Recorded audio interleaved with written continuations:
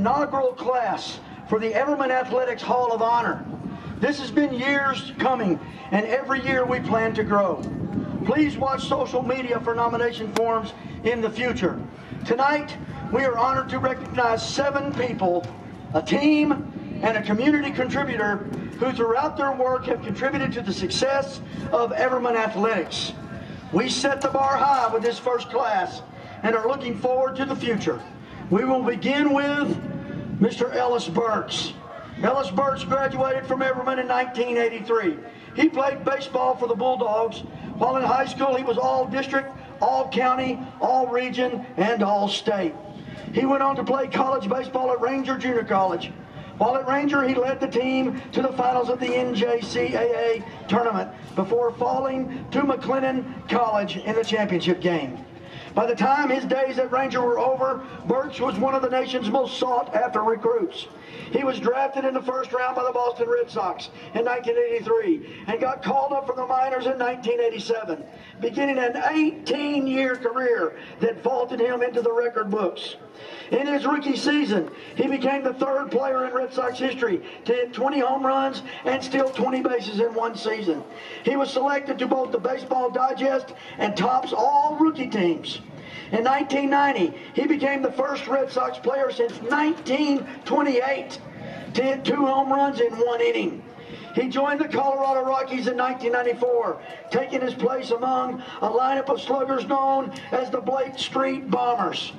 In 1996, he led the National League in runs, 142. Slugging percentage, 639. Total bases, 392. Extra base hits, 93.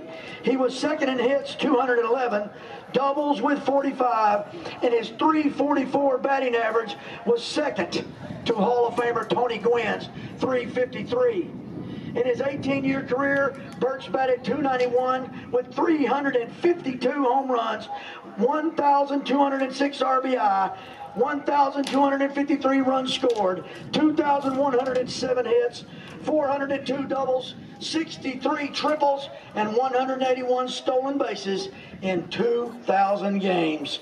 Defensively, Burks recorded a 983 fielding percentage at all three outfield positions. Ranger College's baseball stadium, Ellis Burks and Family Field, is named in his honor. Ellis Burks could not be with us tonight. He is currently a baseball broadcaster for New England Sports Network, where he's a studio analyst and is working the best part of the baseball season, Mr. Ellis Burks. Next is Dale Keeling. Coach Keeling began his career in 1983 in Spur, Texas. He became a Bulldog in 1998 and led us for 20 years with a 184, 60, and 69 record. When he started, we were in the old field house, now the soccer locker rooms. An unair-conditioned weight room, now the training room, and a grass field. He led us to three state semifinal games and two state championships. In 2001, he was named the 3A Coach of the Year. Then he got us some turf to play on. And in 2009, we built the Dale Keeling Fieldhouse. To quote a former player, these words don't seem adequate. Thank you for making winning football games an expected tradition at Everman. Thank you for teaching us that we can be great together. Thank you for leading us two years in a row to be the greatest in the state of Texas and for striving every season for 18 years to try and reach that mark. Thank you for teaching us that mediocrity is not good enough, for seeing the best in us and working every day to bring that out. Thank you, Coach Keeling, for 20 years at Everman and for all your years spent making kids' lives better. Dale Keeling. Carrie Roberson. Carrie Roberson graduated in 1996. She played volleyball, basketball, and softball for the Bulldogs. In high school, she was an 11-time All-District, 7-time All-Region, and 5-time All-State player. In college, in 2000-2001, she was ranked ninth in the NCAA Division III for three-point field goal percentage and three-point field goals made. She was all-conference in all three sports.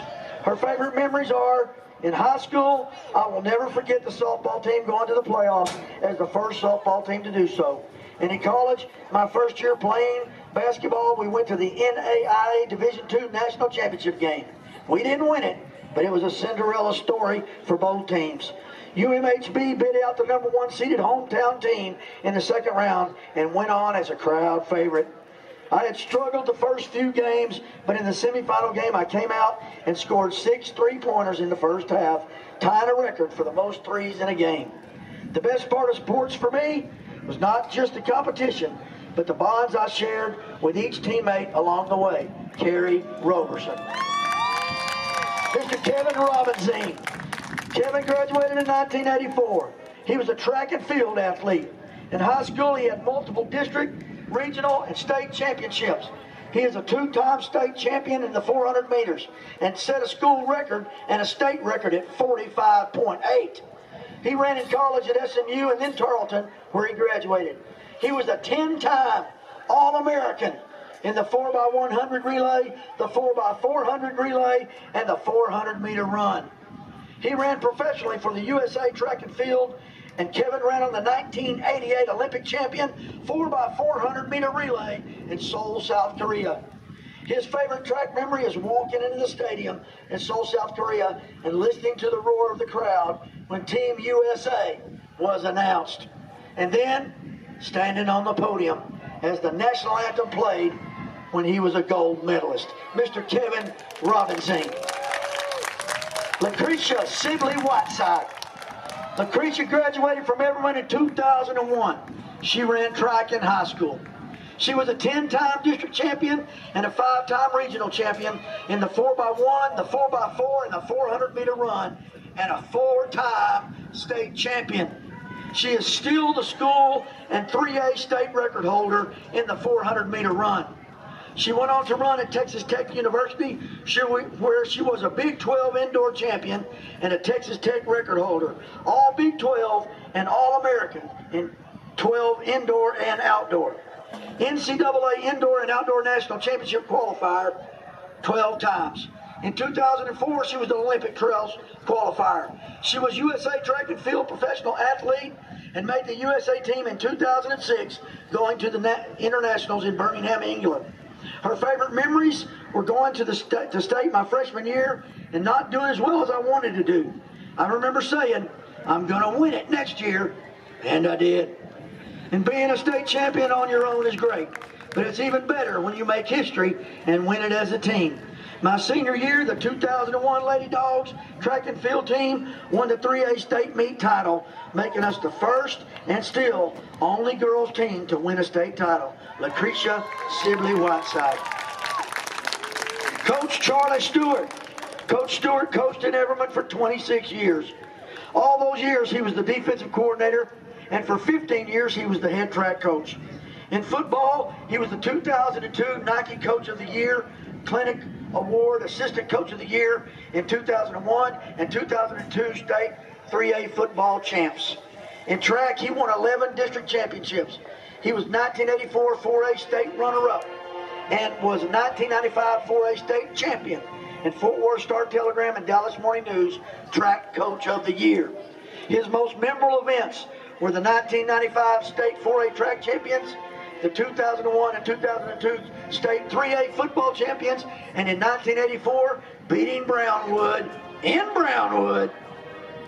And in 1995, beating number one straight state-ranked Southlake Carroll in the bi-district playoffs, where the Bulldog defense destroyed SL, SLC 32 to 6. Coach would be so humbled and appreciative of this honor.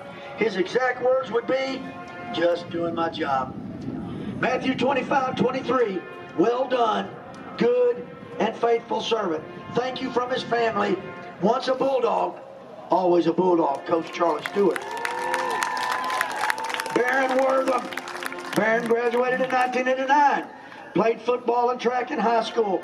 He was a three-year varsity starter, all Tarrant County Sophomore of the Year, all District three times, all Tarrant County MVP, three-time regional qualifier, and a state qualifier in the long jump at 23 feet. He went on to play at the University of Texas at El Paso. In college, he was a two-time Sports Illustrated Player of the Month. He was Western Athletic Conference Defensive Player of the Year, all-time leader in career tackles, 566, and tackles for loss, 43. He led UTEP in tackles four years. Three-time first-team All-Western Conference selection, first-team All-American sports writers.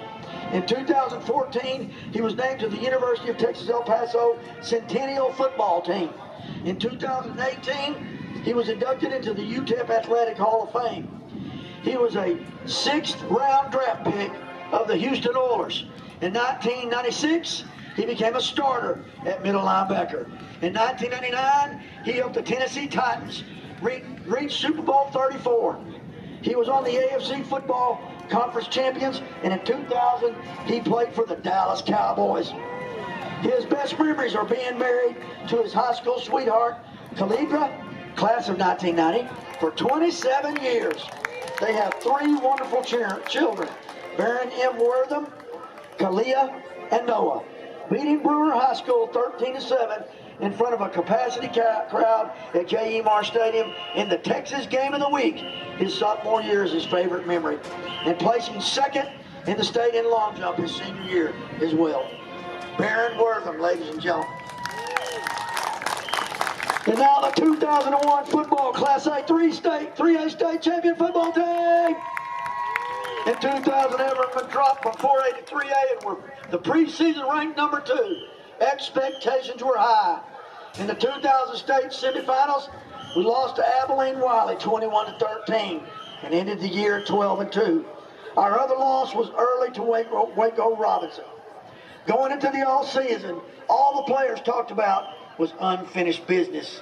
In the weight room, on the field, everywhere. All they talked about was unfinished business. The Robinson game in 2001 was their statement game. They won it 74 to nothing, avenging last year's loss. After going 7 0 in district, they wanted to dominate the playoffs.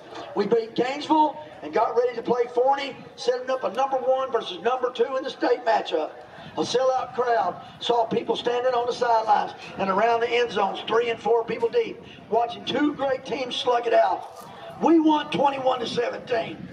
We went on to beat Pleasant Grove 42 to nothing, and then faced Perryton in the north, in north at North Texas Stadium in below freezing temperatures for the state semifinals. The game that ended our 2000 season. We beat them 36 to 6 and moved on. The state championship game was in College Station at Kyle Field. They had waited a whole year for this game and they dominated. Rushing for over 230 yards and only giving up 111 total yards on defense. We won 25 to 14 and finished the season 15 and 0. This was our first state championship in football, and several players from this team went on to play in college, and two coaches were just inducted into the Hall of Honor today. The 2001 Football Everman Bulldogs. J&B Trophy operated from 1982 to 2016 and proudly provided athletic awards for all our Bulldogs. We served in the Booster Club for six years, selling ads for the football program and working concessions. We started the inaugural concession stand for girls volleyball and basketball in 1995. We would heat the chili and cheese in crock pots at the shop, and one of us would leave work two hours early to get the stand open. We worked at every girls' game in 95, 96, and worked in boys and girls' games for several more years. We worked the press box for many years at Everman track relays, totaling points, team scores, and distributing the awards. We have attended games along with our Cowbills since 1991, cheering the Bulldogs on by traveling north to Lawton, Oklahoma, and Canton, Texas, to, and east to Canyon, Texas, Canyon, Texas, west to Midland, Odessa, east to Van, and south to San Antonio, and all the places in between. Those are special moments. Being there in person to watch two football state championships and one basketball championship is the was the most special. J&B Trophy, ladies and gentlemen, your 2023 Everman Hall of Fame inductees.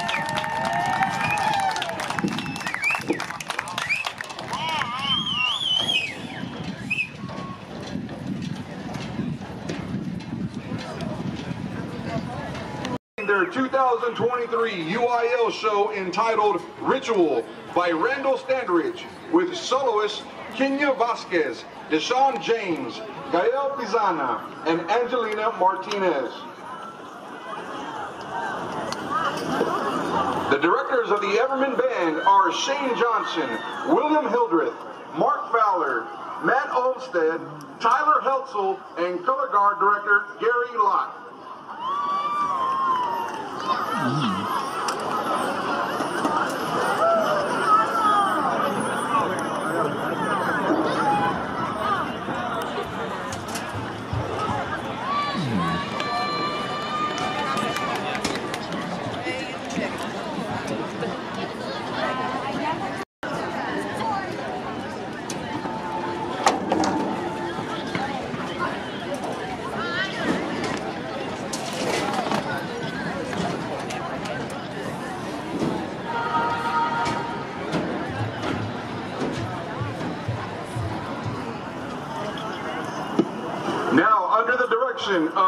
major Christopher Barron and Chance Manuel.